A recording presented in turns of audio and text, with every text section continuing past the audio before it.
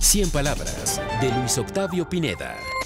Dos años de López Obrador en México entre críticas por manejo de la pandemia, caída económica e inseguridad.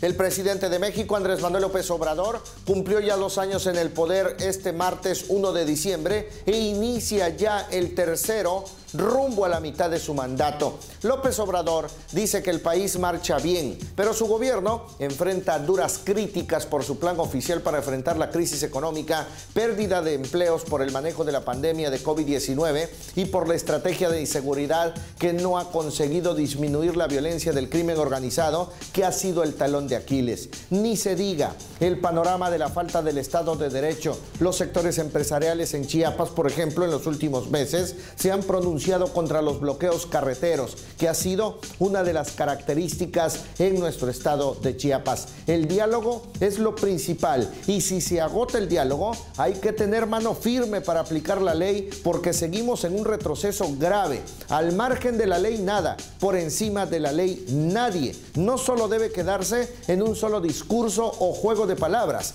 que es un dicho que solo es del presidente.